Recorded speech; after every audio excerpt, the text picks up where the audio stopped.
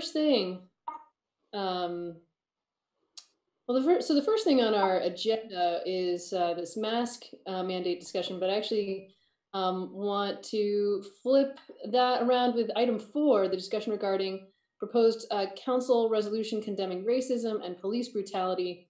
Um, so if there's no objection to that, I'd love to do that first. And um, any, any objection to that? No. Nope. Okay, great. Um, so I'm going to turn that over to Lauren um, to talk about. Um, yeah, and so I had been working on a resolution, you know, as the name um, states, condemning um, police brutality and racism. Um, and you know, I know this is an issue top of mind for our community. Really important, and really, you know, hope that as the city council we can make a statement on this. Um, I ended up, I was trying to pull it together quickly and um, was getting some input from some um, important stakeholders and ended up not having enough time to incorporate and try to get the language right so that it really kind of reflects what I hope to put forward to you all to consider. Um, so I'm hoping we can consider that next week. Um, and apologies for the kind of coming in last minute, but would you know rather get it right than try to rush it, um, knowing it's a really important um, statement that I hope we can make together. So that's the the short update, but, and that will give more time for you all to kind of look at it and consider it than trying to rush it, rush it out to you.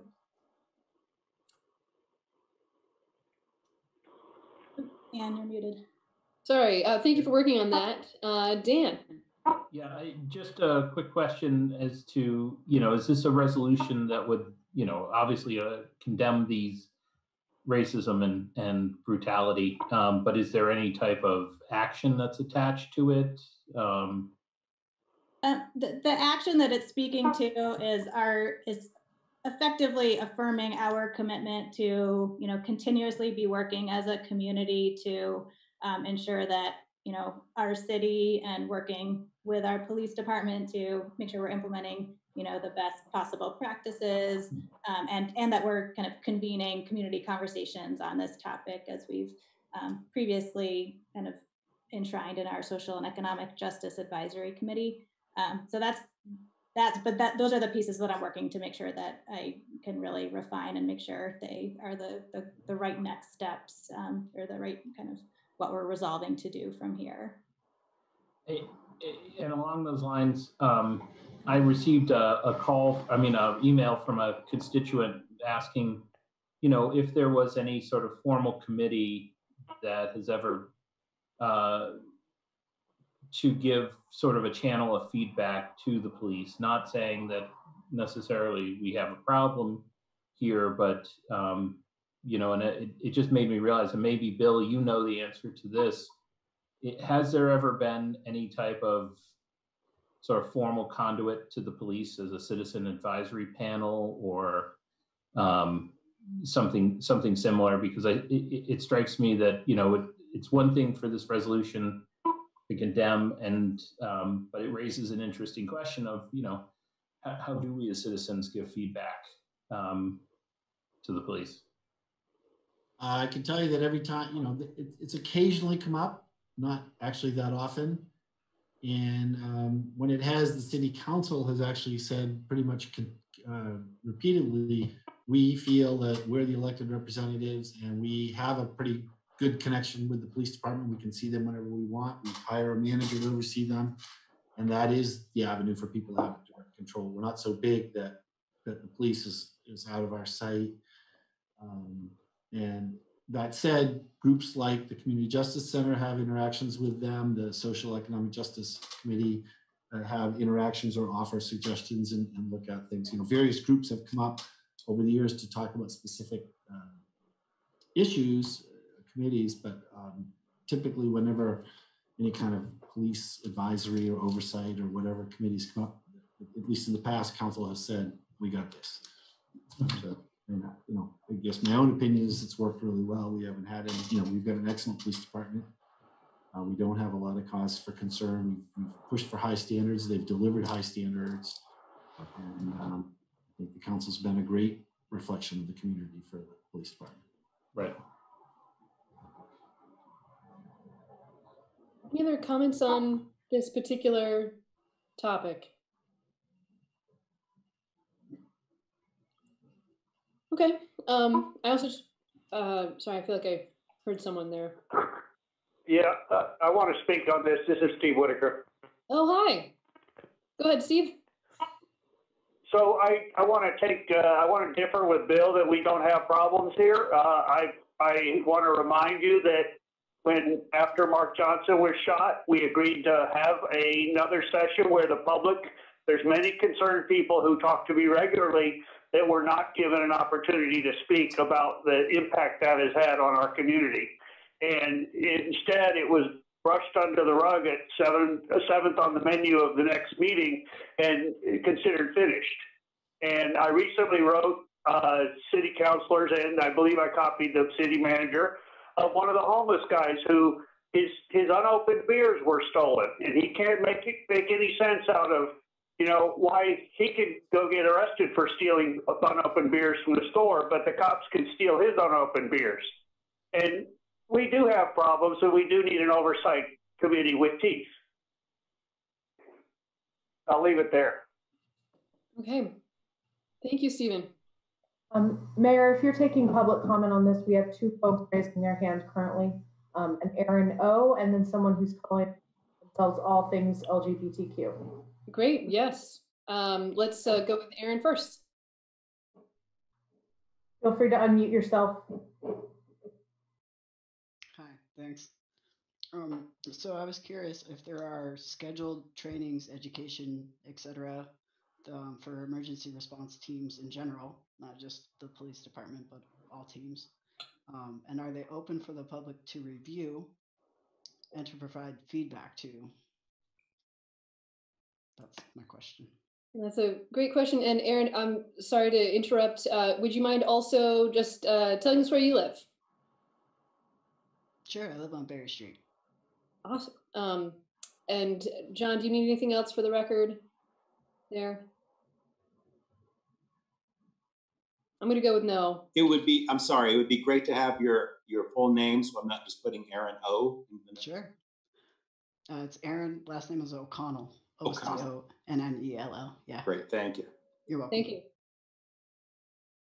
Um, So I would say we have a whole lot of trainings that a, a lot of departments participate in. Um, fire, police, some of them are, you know, physical training, some of them are situation training. Uh, the police do anything from, uh, they certainly do implicit bias training. They do uh, mental health training. They do, uh, in fact, they were the first department in the state to be fully certified in, I want to call it the team two training. There's a, a different name for it.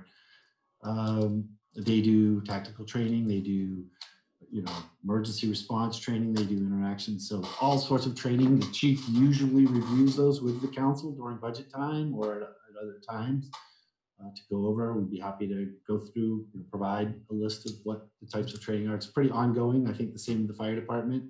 Uh, and DPW, we have all sorts of things. As, as a city, we uh, specifically to speak to this point, we try to do annually uh, implicit bias and those types of training for all of the folks that that uh, that interact with the public in any way. Um, and obviously, we just announced a new police chief today, so he will probably bring his own training regimen in, uh, you know, reflecting those priorities. We don't know what that will be yet. okay. Um, thank you. And um, uh, all things LGBTQ.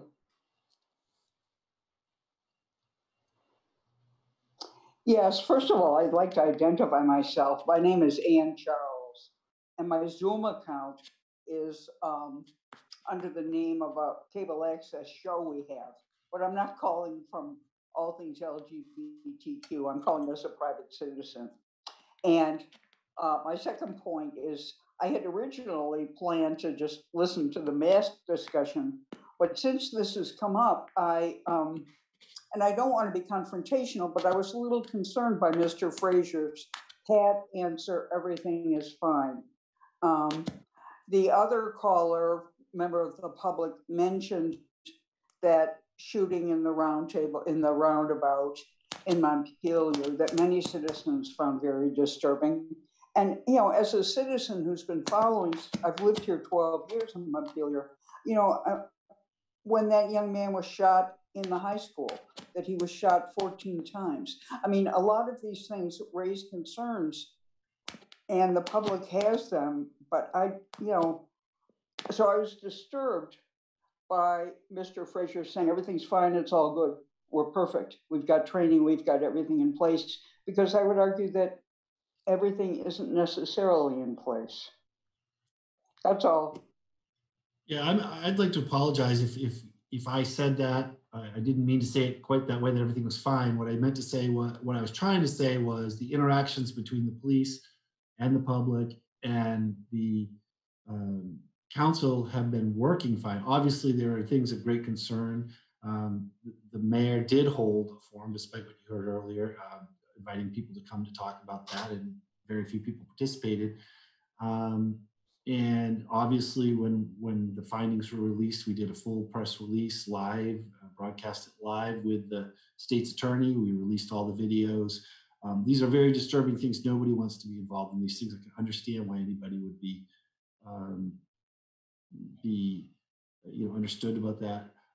I do think when, when you said someone was shot 14 times, uh, first of all, I'm not sure that's correct, and second of all, uh, that implies 14 separate shootings. When you know there were a lot of people, and the folks that did fire all fired at the same time. It wasn't uh, not to make light of it, but uh, that it implies repeated action. It was it was very spontaneous. The person lifted a gun at a police officer, and those on site responded.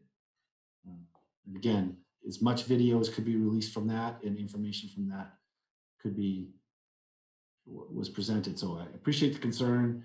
We take this all very seriously and try to release as much as we can, as publicly as we can at all times. And if I may just say one more response, um, I think there is, um, I wouldn't say widespread, but there is active distrust of the police in Montpelier and in Vermont.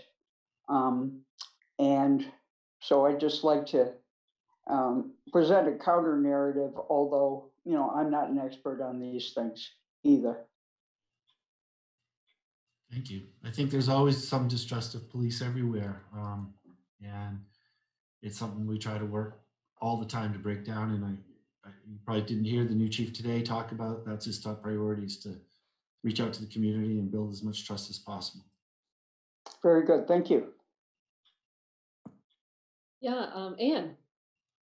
Yes. Oh, I'm sorry. There's a another another person has raised Uh, their hands, but um, um, go ahead. Uh, and you uh, go ahead to uh, unmute yourself. Um, I'm the person that wrote the letters this morning to most of the council members and to you, the mayor, and I did write a letter to the current police chief, although I had heard about the new police chief. And um, first of all, I want to thank you for all the work that you do. Um, I've lived in Montpelier for a number of years now, and I call it home, and I love Montpelier. Um, it's my favorite city in the world. Um, and I spend a lot of time in Philly and New York City and Boston, and um, that's where we go for fun and museums. But um, I did write a letter about citizen um, a citizen oversight committee because, well, I feel very safe in this town most of the time, and I feel like everything that's happening in the world, we do a great job at a lot of things. And I think like to sort of intercept this at a time where where it's advantageous because we have a new police chief coming in that we could really like I love reading the police log because it's like we close down the tourism shack and we walk these people to the bank and I'm just like, oh, that's so cute. Um, and that's always the wonderful thing about Montpelier is that there's community policing, and I've never had a run-in. I've had a run-ins with police in other places, but never here. And um, as a person of color, I'm always like on edge about things, but Montpelier is my home. I grew up in Marshfield. I lived in Montreal. I came back here um, because I couldn't quite move back to Marshfield, but I love Montpelier and it is my home. And I'm just like, this is a place that is wonderful and we can make it better. And I'm hoping, like, I think about like how we can make it better before it gets worse and how we can be a shining example because my daughter lives here and I want her to be like, I want to live in Montpelier when I grow up. Um, we have so many friends here and it's a great place. And I just want to keep it a great place. And that's why I wrote you guys. And that's why I really, really hope that we can do something. I know there's been efforts in the past. I know there's been people involved that it's sort of like, Ugh. but the urgency is here. And who the people that want to participate on their own level where they say we have to address white supremacy, we have to do this, we have to do that. I mean, even if it's just simple questions, it doesn't have to be a StatCom meeting. It doesn't have to be mordi- morbidity and mortality. It it can be just a community meeting where we're like, hey, we love the fact you closed down the tourism thing, and hey, like you know, when I see the police, I'm not afraid. I like love walking down the street. I don't have any fears about walking down the street here, whereas in other places I do. And I think that like that community feeling is what makes this a great town. But I also feel like I would like to see more people of color in this town and say that it's a great place. And um, I know my friend Kiah she was a legislator here and uh, she works here every now and again and i'm like you can come stay at my house and bring your kid and my daughter will babysit for you. Um, and that's what i want like everybody to feel welcome here. And if we have a history of doing the right thing then that's what's important. Not just like we tried this we couldn't do it um, we don't need to do it because it's addressed. We just do it because we meet as community members and we talk about things. And it's like the old town meetings where like people talk to me about Vermont town meetings. Like that's where we meet each other face to face. And there's no like amount of work that I won't put in and hours I won't put in.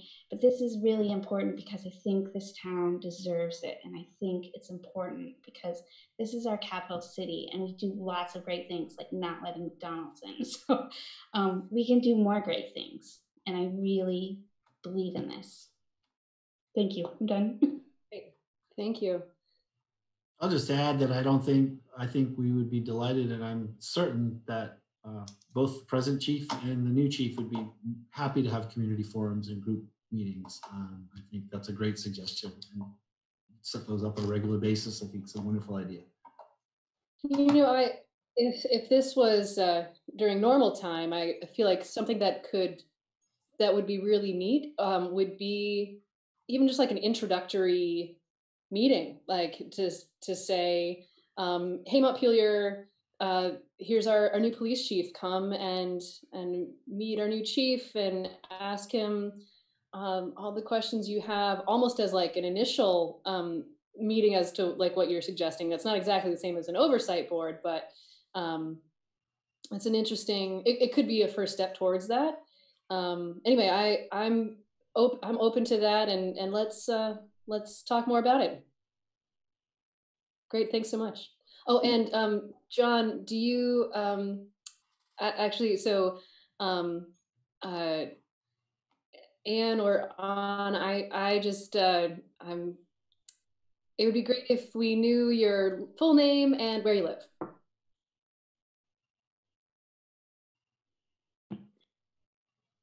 Oh, you're still muted. My full name is Anne Ducharme and I live um, on Berry Street, 191 Berry Street, 202.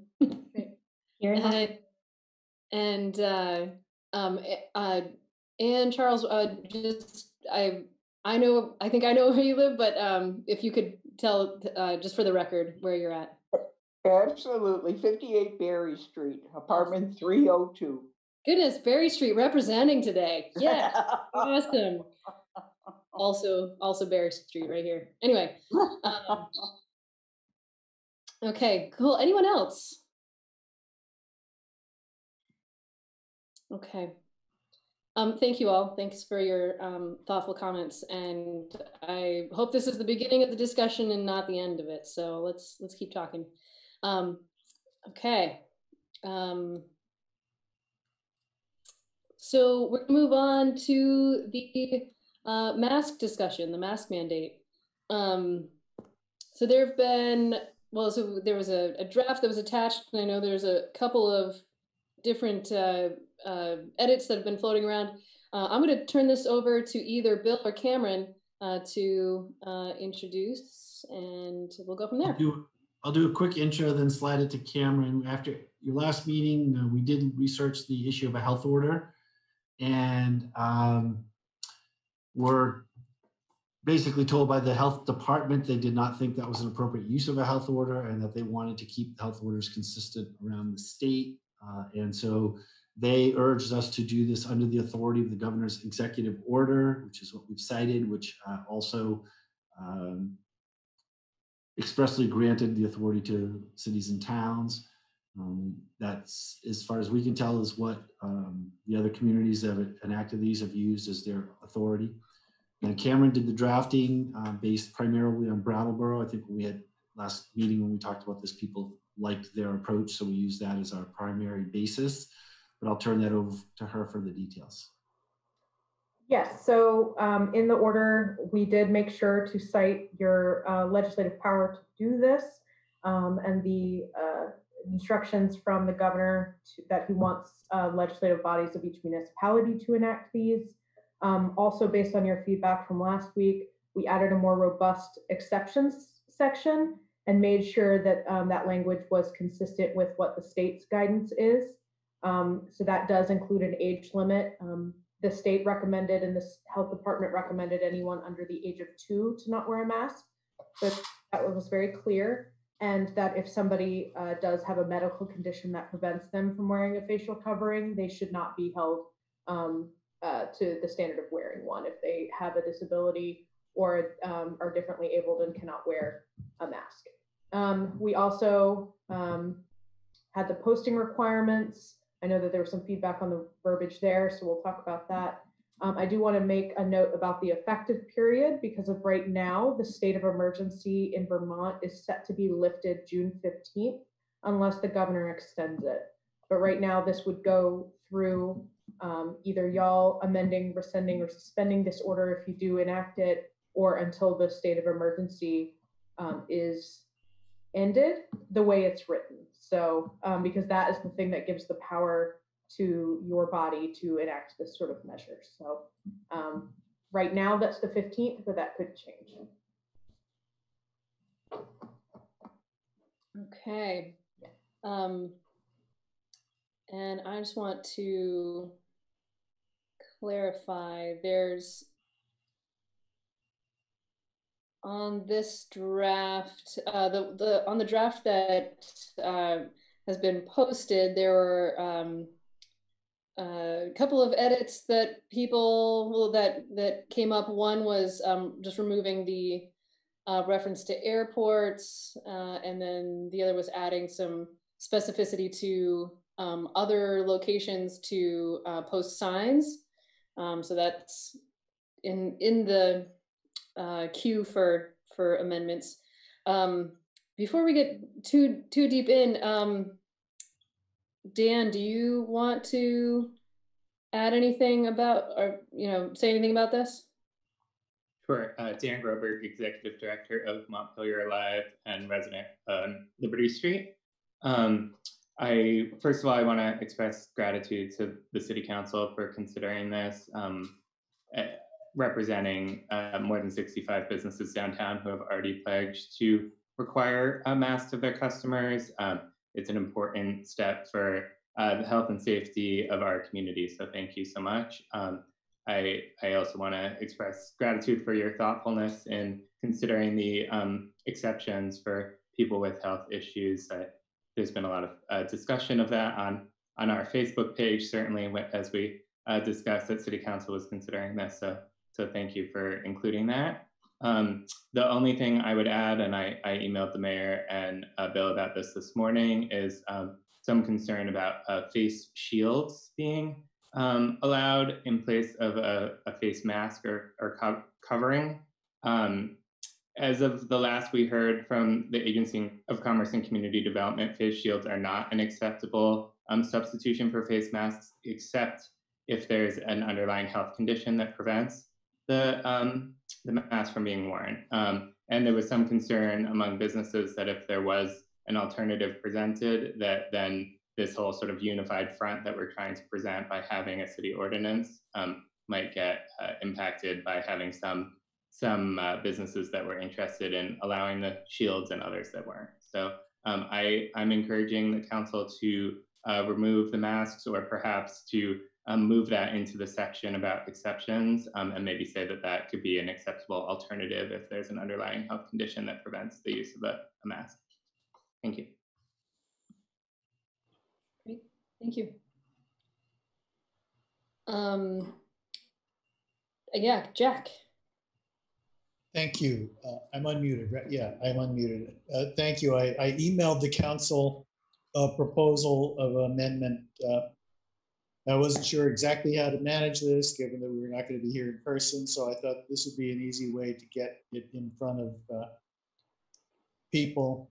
Um, And I, I would share, share the screen, share this document to the screen, except I don't know how to do it, but uh, the uh, what part of my takeaway from our meeting we had last week was that uh, because we talked about the fact that right now businesses have the authority to refuse entry to anyone that doesn't wear a mask if they uh, choose to do that. And I had the sense that uh, businesses didn't want to be the heavies, didn't want to be the one that were was telling people you can't come in if you uh, don't wear a mask. And but when the, the way the la- language is drafted, it uh, it does it still puts that burden on the business of requiring customers, staff, and visitors to wear a mask. So my proposed amendment, uh, the highlighted language would be to require, be, be basically saying, as a matter of this city ordinance, the city itself is telling people you are required to wear a mask when you enter um, an establishment located in the city of Montpelier. And so the proposal, and I move to uh, make this amendment to add the language after the word 2020, any person, whether an employee, a customer, or a visitor, visitor who enters and then deletes the word all, adds the word and, deletes the S from establishments, and then continuing on,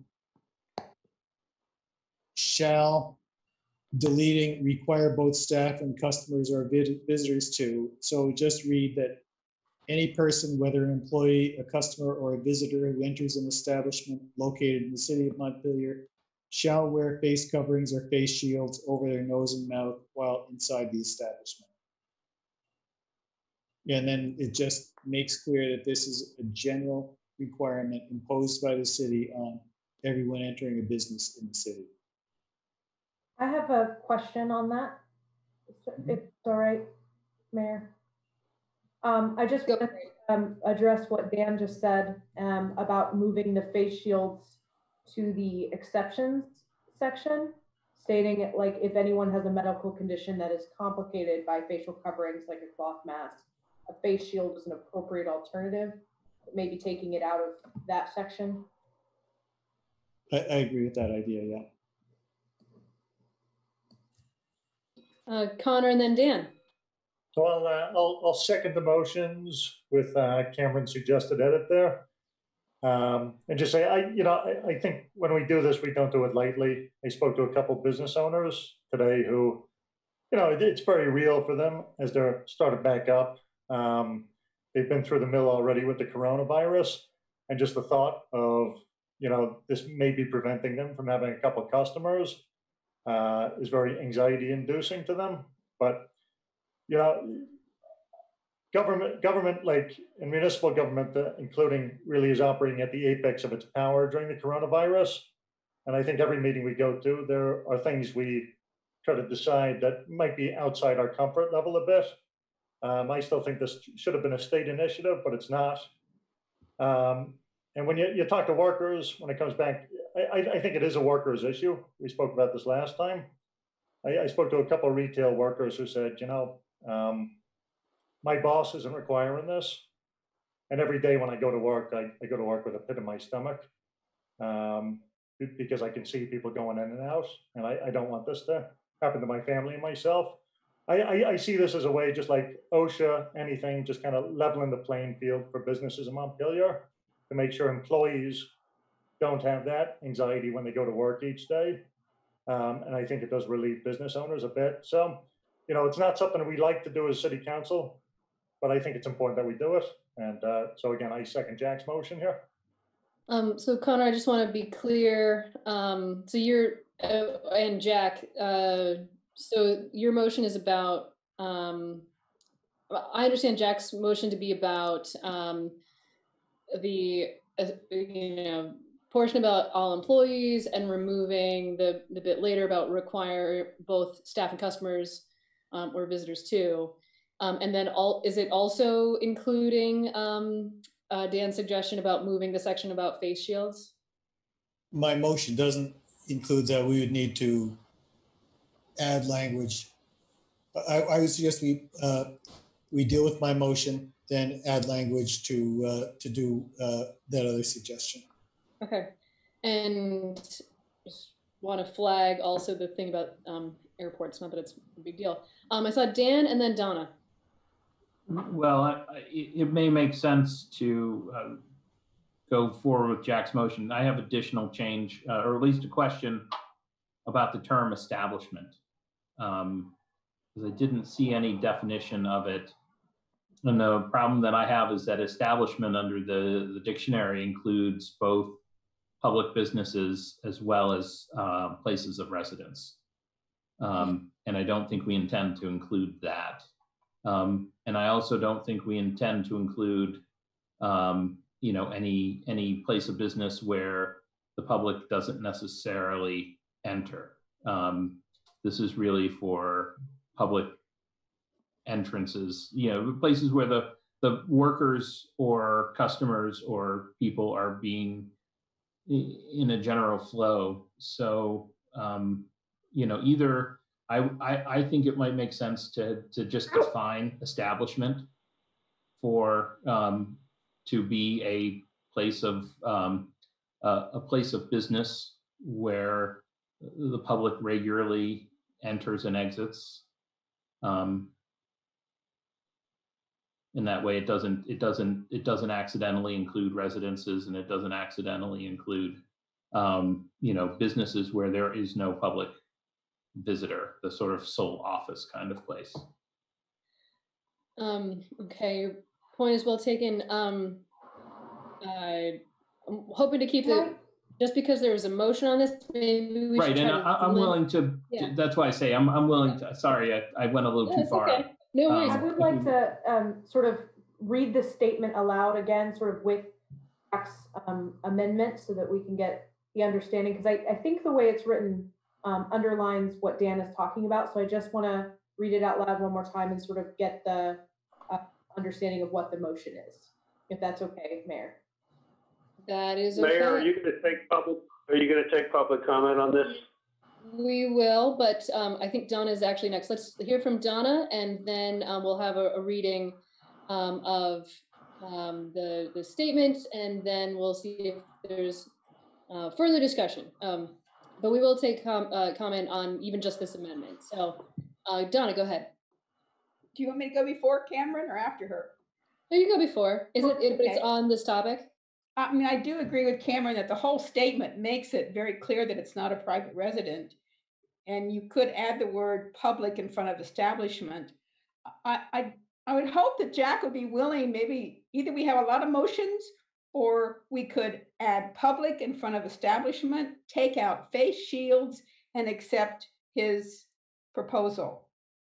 Would you be open to that, Jack? Or do we need to make several motions? Oh, sure, that's fine with me.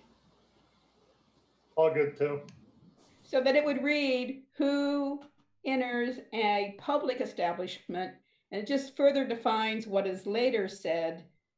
An establishment, purpose of receiving services, purchasing products, or otherwise conducting business shall wear face coverings over their nose and mouth while inside the establishment. Is that clear, John? John Odum? Uh-oh. Yes. I'll sorry. have the- I'll have the language for him as well. Yeah, and I can, that's, I'm good. Okay, um, so, uh, so Jack and Conor were feeling clear about that language then, okay. Yes. And, okay, so, um, any other comments from the council on this particular amendment, and then we'll go to comments from the public. Okay, um, any comments from the public on this?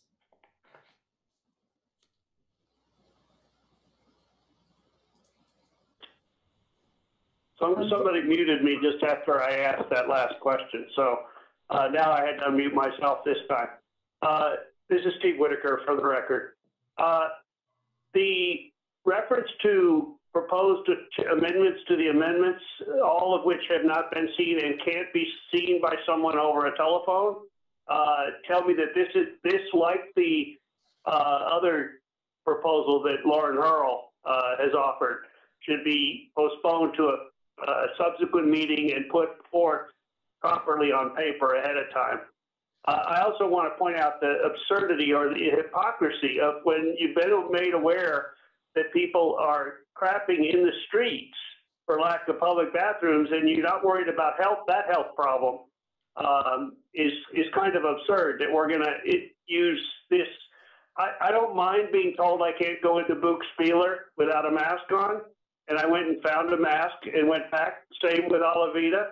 I think the merchants can handle this at their own discretion to kind of be the big brother and say, we're going to absolve you of the need to be the heavy is, is really patently absurd when you got bigger problems on your plate, like lack of public restrooms and a lot of people uh, uh, uh, making real public health hazards out of that, uh, which is contagious. So I think I would ask that you consider properly presenting this in full written form uh, and, and dealing with it at a subsequent, it may be moot in two weeks anyway, so you're really going through the motions, you know, uh, and deal with some of the bigger problems. Thank you. Hey, thank you, Stephen. Um, any further comment from the public? We have two hands raised, um, Dan Groberg and Ann Charles. Okay, let's, um, let's go with uh, Ann Charles first, and then we'll go to Dan, if that's all right. Um, go ahead, Ann. Thank you. Um, I became um, concerned about this for several reasons that I think are obvious to most of the members of this committee. I tuned, I couldn't come last week, but I listened to most of your session, and it seemed like we were all on the same page. The, re- the reason I was originally concerned is that there's so much backlash on Front Porch Forum and elsewhere in the public to a modest measure of, require, of requiring customers to wear masks that I'm really appalled. And I agree with all of the speakers. I can remember Conor and um, one other person who spoke with merchants uh, in rural area, you know, outside of Montpelier, who said that they, it's unfair to put the burden on them. And I think of um, I think of several merchants who are my friends who, um, I mean, we hear around the country of violence against people trying to enforce this very modest measure. So, uh, you know, and Dan Groberg, I didn't realize about his initiative um, of, you know, what is it? 84 businesses signed on to it. I learned about it last time. I'd like to applaud that. And I'd like to applaud all your efforts. And I hope cooler heads are prevailing in this body, and they seem to be. So that's all I have to say, really. Thank you, Anne. Uh, Dan, go ahead. Thank you. Um, I realized while we're while we're already amending things um, that as uh, as I understand the order as written, um, there are not any exceptions for um, businesses in which it would be impossible to wear a mask while, uh, like for instance, I can think of um, in, uh, indoor dining, which is going to be allowed shortly. Um, I can also think of um, uh, close contact businesses like um, uh, hairstylists are currently allowed to do like beard trims or things like that that might require you to remove a mask. Um, and I'm not sure that that's addressed in this order. So do you have any suggestions regarding that? Or that we just revisit it once the rules have changed? I mean, I think it, there are businesses that it would impact already, Okay. so I would uh, be concerned about revisiting it subsequently. Um, I wonder if there's some way to put it in the exceptions, like um, it's hard. It's hard to say like where state guidance has accepted it because state guidance is not requiring it to begin with. But um, perhaps there's some way to say like in specific circumstances where state guidance um, allow allows. I don't. I don't really know. I, there, are, there are brighter minds who are in charge of writing these things on the call. So there is a, an exceptions um, section. Perhaps we can um, call out some businesses that we know will, like, it doesn't make sense for them to do business while wearing masks. Um, but let's let's revisit that. Um, so, because right now we have a motion and it's been seconded uh, on some specific language changes. Um, any further discussion about that? Okay, um, all in favor, please say aye. Aye. Aye. Okay. And opposed? Okay, did not see anyone there, so uh, the motion carries. Uh, so we've changed it uh, a, a bit. Um, I want to come back to, uh, actually, Lauren, did you have something you wanted to add? I feel like you've been kind of raising your hand. Yeah, no, I just had Yeah. two really minor things, which apologies for not getting the chance to email. Um, one is is just um, at the top of page two. It says in accordance the state of Vermont executive firm. I think it's supposed to be in accordance with the state of Vermont. So just make sure that reads okay. And then we've got if people can see where that is. And then we have on the paragraph right above that, the very bottom of page one, it says starting June 3rd, all establishments. I'm wondering if we like pass this now, if there's businesses open this evening. I don't know if there are, but like, should we do it tomorrow at least so people could get the word out? Um, or is there some kind of notice to our businesses, especially since we're gonna, they're gonna have to figure out signage and that kind of stuff. Just a little bit of um, cushion there might be good. Would you suggest tomorrow, Friday, Monday, Saturday? Um, I don't know if Dan Groberg might have thoughts if people feel like it immediately is is good, so people can just start referring to us if if um, you know. So maybe even as soon as tomorrow, and we can post it tonight up publicly and stuff, and Dan can send message to the members. And I don't want to delay this because it seems like it's helpful to the businesses um, from what we're hearing. Um, I just more it seems like until we can put the word out, it's hard to, to say. Uh, you, I could suggest a compromise in which the signage is not required until Monday, perhaps, but the ordinance goes into effect tomorrow. That makes sense to me. Sorry, so you're saying the signage isn't required until perhaps Monday? Correct. Okay. Um, Lauren, are you making a motion to make these changes?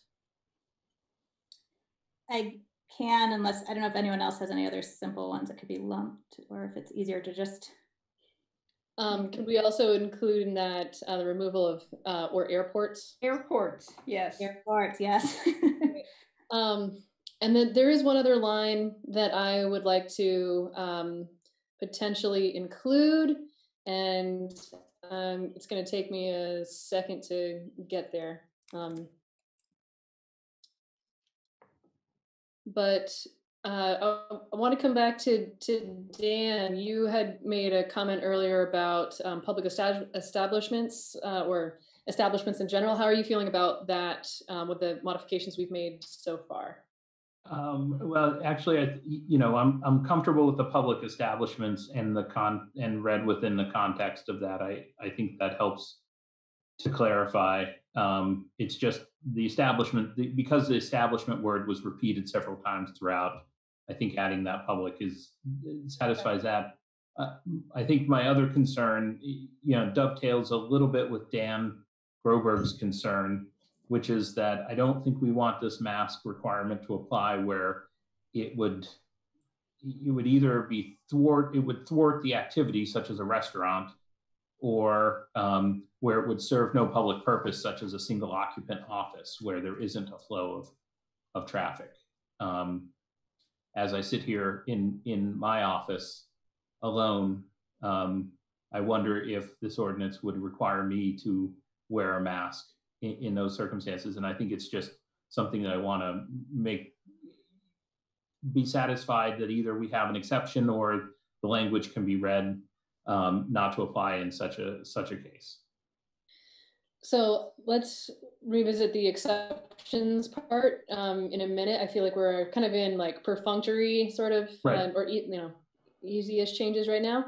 Um, That's not a problem. Yeah, cool. Um, there, so there's one other line that I think is probably not that controversial, um, uh, which is under uh, the posting of requirements, that um, paragraph, just to add a sentence at the end that said other locations can be alternative entrances, parentheses, back doors, comma, etc., or at transaction locations such as registers, parentheses. So it's just trying to give a little a little specificity to what um, other locations might be appropriate.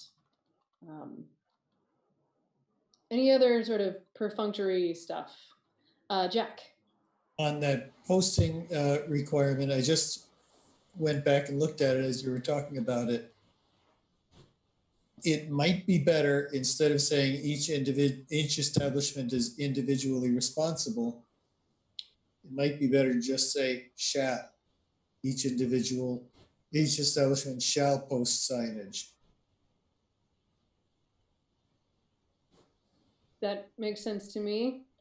Um, so as as we're uh, keeping track here, we have um, in accordance uh, with the state of Vermont, removal of airports, um, the line about other locations, uh, changing uh, the posting requirement to uh, shall, and then also an effective date um, of, what did we say, for Monday um, for the posting requirement. I think that's five changes. Is, is there anything else that's relatively perfunctory here? Uh, Donna? Well, I just wondered if in the exceptions, could you put except while eating? Well, let's let's deal with the exceptions Okay. in a minute because I think that's going to be a little Thought you bit. were- Okay. Yeah. Um, go ahead, Dan. uh, a suggestion to, oh, sorry, I don't know which Dan you were talking about, but I was going to suggest language to help the, the other Dan. So um, adding the language while in the presence of others, um, that's language that's appeared in other state um, sector. Uh, the other piece is like, I'm thinking about my, you know, peop employees who are in their stores by themselves. Um, you know, maybe they want a break from their mask between customers because they're annoying to wear, or um, you know, you know, maybe they're not actually open; they're just preparing orders or doing other things. Do they need to be wearing a mask? So perhaps while in the presence of others would be language. that is added. Um, where where would we? I think we're still going to need to revisit the exceptions part probably because of salons, but um, where? Um, Um, so it could be, um, sorry, I have so many windows open. Um, while inside the establishment and in the presence of others. which paragraph is that under? Uh, that's um, Requirement to First wear. paragraph under requirement to wear face covering. Okay, great. Okay. So is there a motion regarding these changes? I'll, I'll make that motion. I'll second it. Okay, any further discussion about these changes? Are we, do I need to list them again? Are we feeling pretty clear?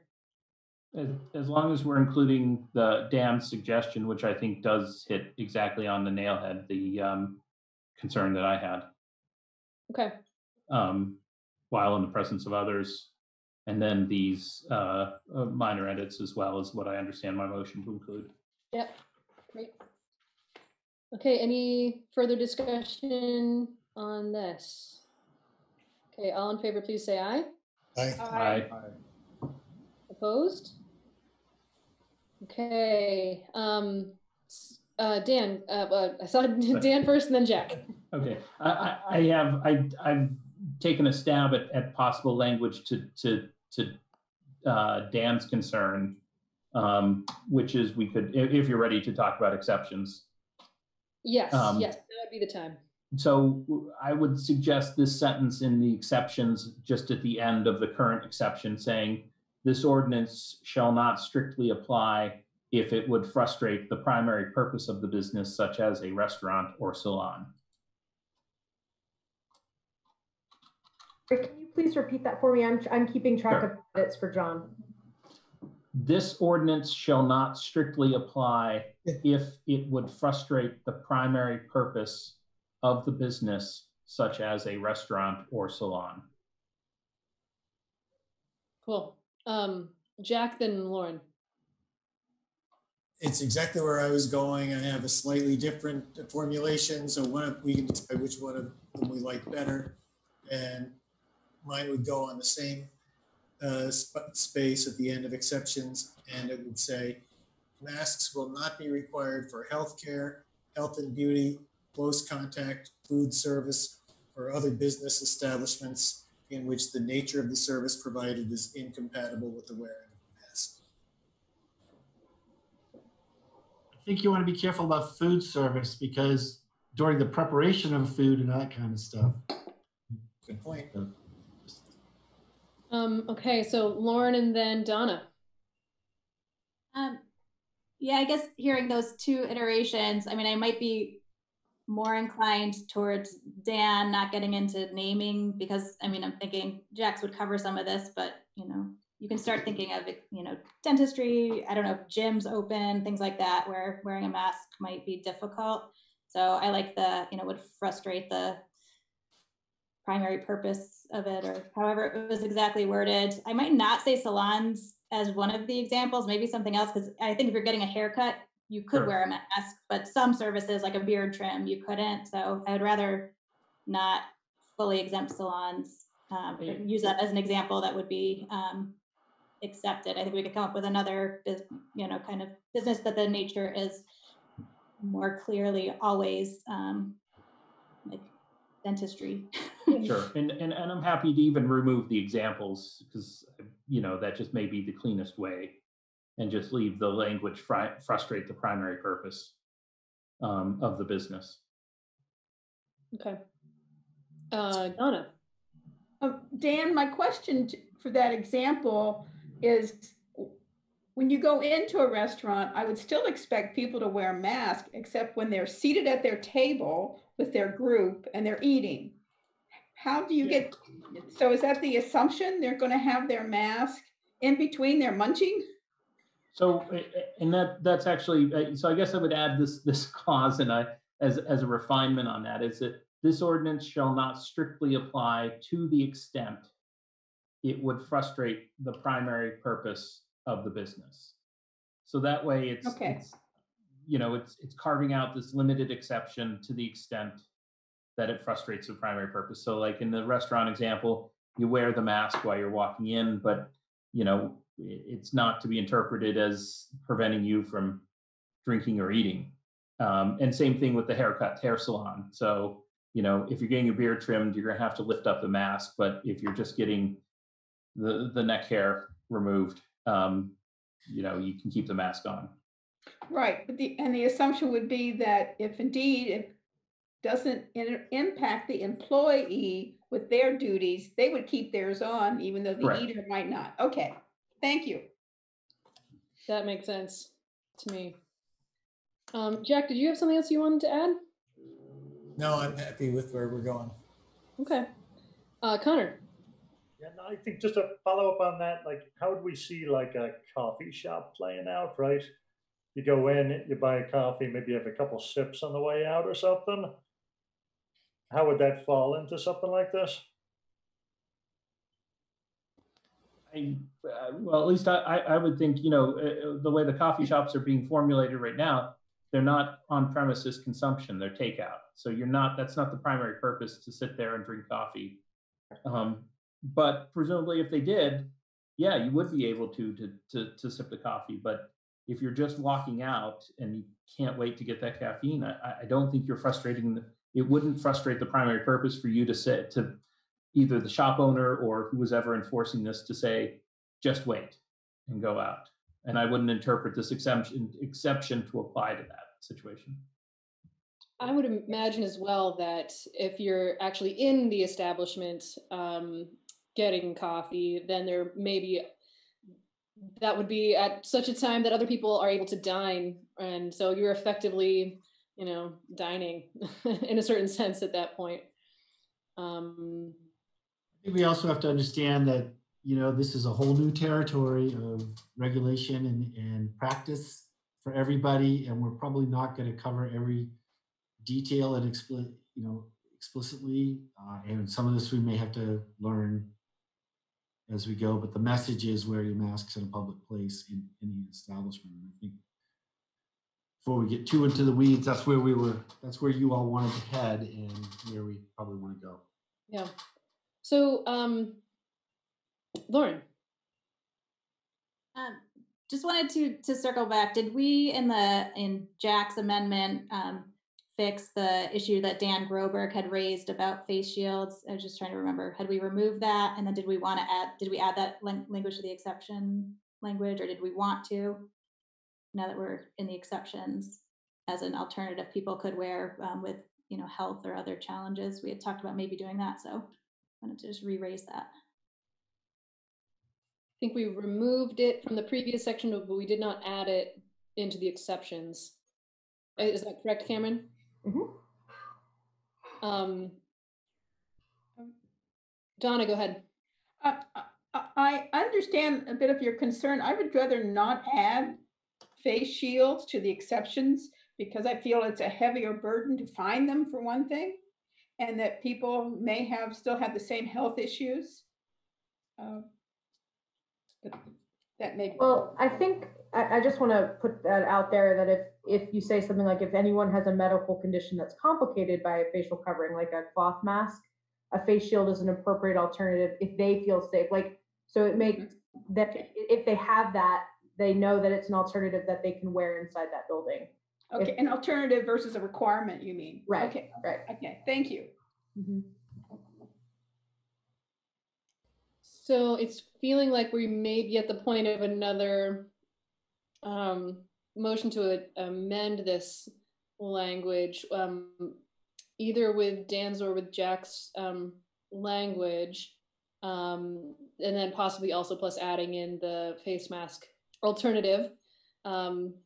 Thoughts on that? Anyone want to make a motion? Um, could I, can you take a comment? At this Um, point? yeah, sure.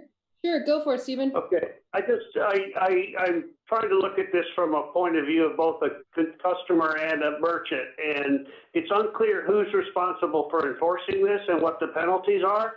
You know, if it's gonna be so complex that the merchants are gonna be nervous whether they need a lawyer to interpret it and whether or not they're on the hook for a fine for not understanding it versus the, or is the, or is there even a penalty in this at all?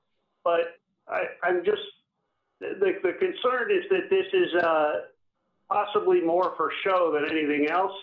And that it, it isn't really workable at, at, at the current way we're proceeding to do it. And I'll just, again, ask you to table it until you can really figure out whether, you know, maybe you want to require N95 masks because they're effective, you know? I, enough. Thank you.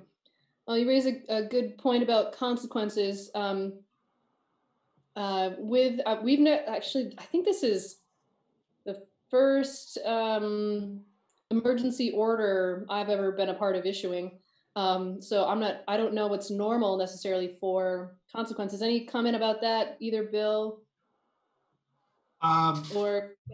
we did speak with Chief Facos about this. You know, this is operating the same way as the as all of the state's orders, which is that expectation is that there will be voluntary compliance, and that has generally been the case here in Vermont.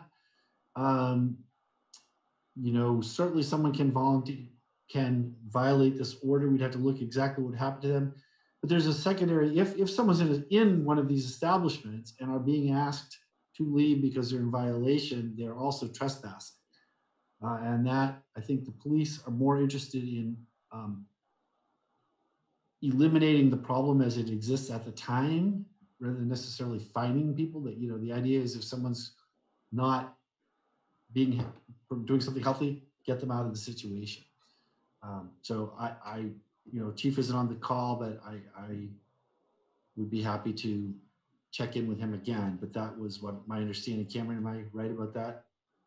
Um, my understanding is the same, um, is that this is a voluntary compliance, but it would be the same as like an, uh, ordinance violation. It's a, a civil ticket, if I understand it correctly, unless you, but that's not something we'd be actively policing from what we've been told. It is just a voluntary compliance, and if a business asks you to leave and you do not leave, then it is a trespass.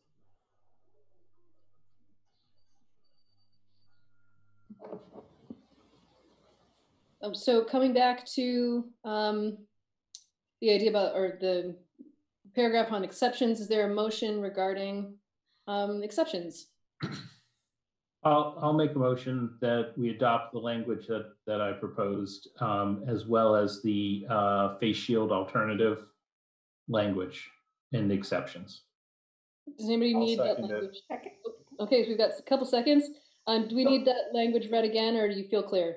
I would love to read it out loud just to make sure everyone is uh, on the same page with what I wrote down. I want to make sure I captured everything. So I wrote at the end of the paragraph on exceptions, if anyone has a medical condition that is complicated by facial coverings like a cloth mask, a face shield is an appropriate alternative. And then in a new paragraph, this ordinance shall not strictly apply to the extent that it frustrates the primary purpose of the business. Jack. Uh, Mayor, I, I noticed that someone else had her hand up. Anne, I don't remember Oh. your last name, but Oh, before. And Charles, Okay, Yeah. I apologize. And Charles, go ahead. Thank you, thank you, Jack, for Thank you. identifying that. Um, I would just suggest, in terms of enforcement, that the perfect is the enemy of the good. I mean, here we are in the midst of, you know, a health crisis, as we all know. And people are running around in grocery stores without masks. Um, tribalism is arising. People are getting mad at people not wearing masks. And so I think any measure that you, any ordinance like the one you're talking about, um, would be a deterrent and would help. I mean, it just seems like a no-brainer. It would help merchants, it would help customers, it would diminish um, friction in the community. And, you know, I would think, you know, you're the experts, but if somebody, you know, doesn't adhere to a mask ordinance and someone calls the police, then, you know, they would be fined or whatever. I mean, I don't, um, one of my conversants on this issue said a fine penalizes the poor and so forth. But I, I think to focus on um, enforcement gets us off the, I, I mean, it's voluntary and in certain circumstances, it may need to be enforced. But I think passing it, and I would like to underscore what Lauren was saying, I think it needs to be kind of expeditious because here people are running around in supermarkets and have for the last couple of weeks. And, you know, from my anecdotal observation, mask use has increased, but there are several people who, you know, we know who refuse to wear a mask. So I think it would diminish friction and if we got caught up in concerns, if we, if you become deterred by concerns about enforcement, that would slow it down, and I think, you know, expeditious action might be the best course here. Thank you, Ann. Thank you. Yep. Um, okay, I think there was a motion and a second. Any further discussion? Anyone from the public? Okay. Um, all right, um, all in favor, please say aye. Aye. Aye. Opposed? Okay, um, all right, so uh, we've got some, lots of refinements to this document. Anything further that people see that they would like to amend? Uh, Bill, did you have something? No, sorry, I thought, I thought we were, I thought you just passed it, so s- I'm not paying Oh, attention. I, No, we I, passed it. Sorry, I, no, it's okay. My understanding is that we've amended Amend- the proposal. We haven't actually passed it yet. you're right. Okay. Um, And uh, uh, Dan, go ahead. I'll, uh, yeah, I'll be happy to, to put that on the table for discussion by making a motion that we adopt the ordinance as amended um, under our emergency powers as outlined within the ordinance. I'll second. Okay, any further discussion on this? Um, Go ahead. Dan. I'll, I'll offer, you, you know, I, I think there's been a lot of, and I've heard from some constituents as well, uh, concerns on both, both sides. I, I'm comfortable with this ordinance because I think it's narrowly drawn. Um, it's focused on the emergency powers that we have and, and the issues. Um, and as Ann mentioned in her comments, this, and Dan as well, this takes the issue off of um, people to make these decisions um, and leading to conflict. And it's for a very limited purpose. I don't think we go into this loosely or you know rashly. I think we have discussed this at past meetings, and I think what we're doing right now, you know, is is exercising some emergency powers so that we don't have disputes about this. That people feel safe going into the places of business, um, and that when the need for it is done, the power goes away and the ordinance does as well. And so for those reasons, you know, I do feel comfortable. I think it's a nice balance between civil liberties, public health, um, and our general desire to have, you know, these kind of disputes. This is where city government can really be effective in stepping in and, you know, just making a rule. This is the rule we all follow so that people don't have to get into these disputes and squabbles. So that for those reasons, I'm voting for it and support it. Super. Uh, uh, any other comment from the council or from the public?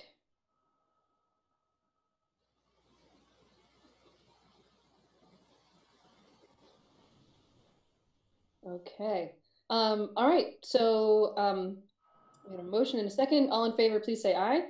Aye. Aye. Uh, opposed? Okay, all right, well, um, thanks everyone for, uh, for that.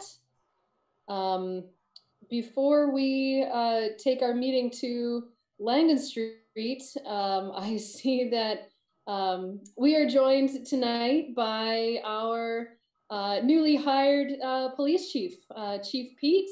Uh, so, um, Bill, do you want to, do you want to say anything? Uh, I'd love to like give you an opportunity to, um, to say, uh, to introduce yourself anyway, but go ahead, Bill.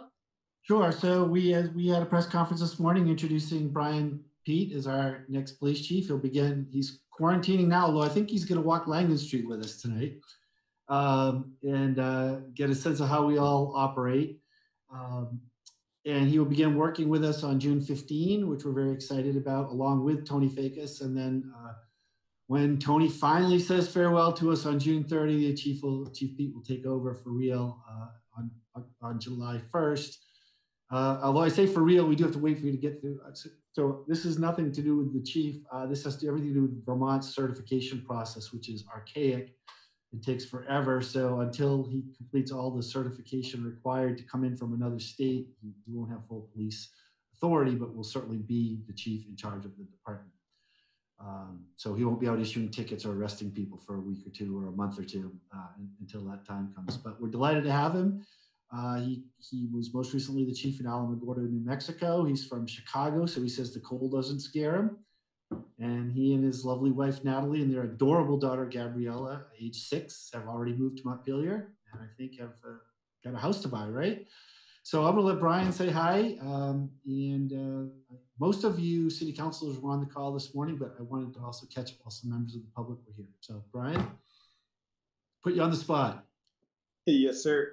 Uh, just good evening. Uh, thank you all. It's a pleasure and honor to be here. Uh, an extreme privilege, and um, I'm I'm very much uh, looking forward to working um, for the citizens of this great city and doing my best to continue on the legacies and the foundations that have already been set by Chief Facos and to continue our culture of uh, um, inclusivity, uh, transparency, and accountability. So thank you all for your trust. Thank you for this amazing, outstanding opportunity.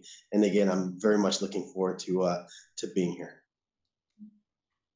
Thank you, Chief. You did miss uh, actually a, a longer than expected conversation uh, earlier in the meeting about police and transparency. So I think we may have promised you a couple for a couple of community forums at least, but I don't. That's the, I understand, and and I'm ready for it, and ready to get out there and talk to folks, and um, and and and, and do my civic duty and service. Thank you. Fabulous. Thanks Thank for you. joining us tonight. Thank you, sir. I think I, well, we'll just introduce you to everybody in person. We don't do it bother right now. Um, okay, so uh, in anticipation of discussion about the possible closure of Langdon Street to traffic partially or temporarily or something like that, uh, next week's meeting, um, we are going to take this meeting to Langdon Street um, in a socially distanced way for a walk, uh, just to get a visual. So, um, Where should we meet? Langdon in Main. Sure. Okay, Yeah, got it. what's that? Nope, perfect. Okay, great. Well, so Want to meet me here at City Hall? We can walk over together. It's cool. Brian. If you want to meet me here at City Hall, we can walk over together. Yes, sir. I'll be there. All right. Or, or if he comes down State Street, I'm on East State Street, I can wait outside. Yeah, there you go. Okay. Uh, well, I'll be coming down from Betsy's B and B. There you go. All right. We'll see y'all in a few. Okay, see you soon. And we will not be taking up any business after that. So, But that is um, an open public meeting if anyone wants to attend. yeah. Okay, well, we'll see you all there soon. Going to adjourn, yes? No, Uh, not technically. Not Uh, until go we're ahead, done at let's Lincoln do- Street. Okay, we don't adjourn until we get there. Okay, fine. I will, and until that walk is done. So, Okay. Okay, thanks. See you all soon.